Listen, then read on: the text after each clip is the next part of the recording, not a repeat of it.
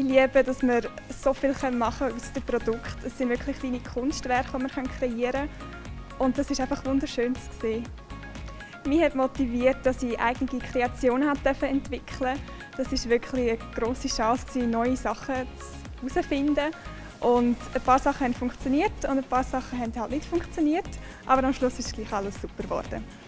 Die schönsten Augenblicke waren für mich, wo mein Schaustück ähm, zuerst mal heil angekommen ist, hier in Luzern.